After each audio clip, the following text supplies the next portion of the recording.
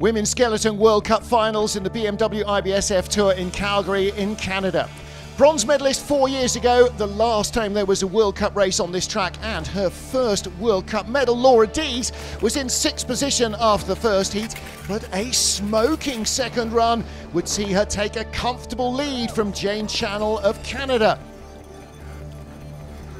Sixth after the first of the two heats, the World Cup points leader, Elena Nikitina. Now, she only needed a 14th position finish to guarantee herself the Crystal Globe as the series title winner, and she had a good run going, but it drifted away at the bottom of the track. She dropped behind Laura Deas with five sleds still to go.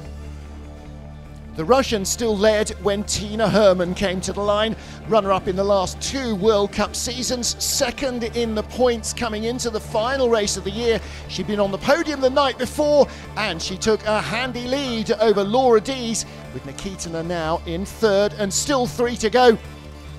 After Russia's Yulia Kanakina had dropped out of medal contention, there were just two sliders left, both Canadian, both medalists the night before. Second after the first heat, Mimi Rahneva. She'd won on Friday night the makeup race for the missing encounter in Koenigssee, eh? but she dropped behind the flying German into second spot.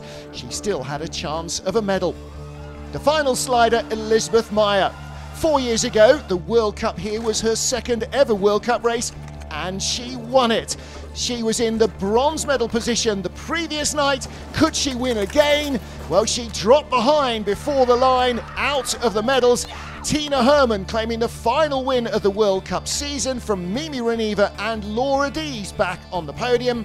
And Tina second in the World Cup rankings, but the World Cup champion for the first time ever in women's skeleton is a Russian, Elena Nikitina, as she claimed the Crystal Globe at season's end.